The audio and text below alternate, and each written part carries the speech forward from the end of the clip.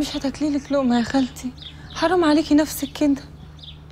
ومين له نفسي ياكل يا فاتن وابني الواحد ما عرفش عنه حاجة. والكل بيعيب فيه في التلفزيون.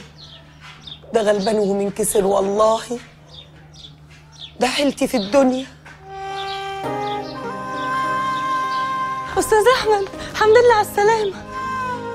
يا حبيبي يا غالي يا حبيبي يا ابني. ده أنا قلبي كان هيتفطر عليك. اللهم لك الحمد ولك الشكر يا رب. كده برضه يا أحمد.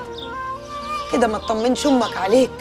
وبعدين إيه الكلام الخايب في الفيديوهات اللي انت قلته ده. يا ابني انت تدخل كده نفسك في متاهات يا حبيبي. خلاص بقى يا خالتي. الحمد لله إنك رجعت لنا بالسلامة. أنا كنت عارفة إنهم هيسيبوك عشان أنت مالكش يد في حاجة. مالك يا أحمد؟ ساكت ليه ما تتكلم؟ اوعى يكون لك يد في حاجة ومخبي على أمك. أنت هتخبي على أمك يا ما احمد تقفلوا بقكم بقى. إيه؟ خلاص خلاص خلاص اسكتوا اسكتوا بصوا.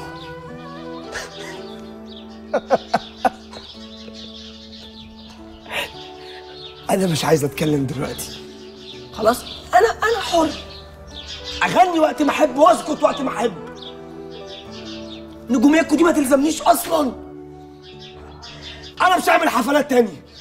وبعدين الجمهور اللي بره ده سكتوه سكتوه أو مشوه مشوه خلاص مفيش حفلات. قول لهم خلاص الكينج مش هيعمل حفلات تاني.